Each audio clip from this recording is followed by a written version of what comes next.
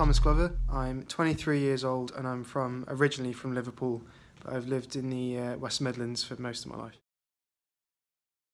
I'm a draftsman um, or a CAD technician.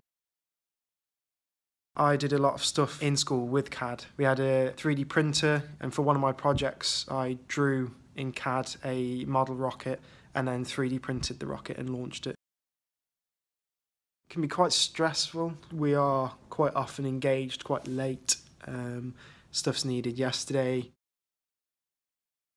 It's crazy to me to think the things that I'm doing on that computer of mine um, are actually going to get built in the real world. And I can go and Google now and I can find many examples of actual pictures of the actual buildings and staircases or uh, lift shafts or anything that I've worked on in the world. And they exist in the real places, and there's pictures of people using those things. It probably never crossed their mind that a 20 something year old guy from the West Midlands drew that and did that.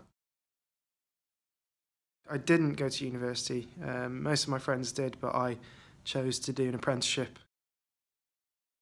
My best friend who I live with is a kitchen fitter. Another one of my friends is a bricklayer. Another one a surveyor. So my sort of close friends group, anyway, are all in the construction industry in some form or fashion.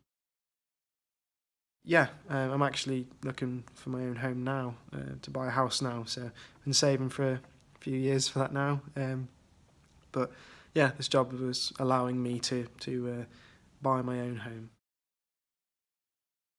The only advice I can really give it would be um, just to, to be keen. I think that's all anyone really looks for and can ask for from anyone.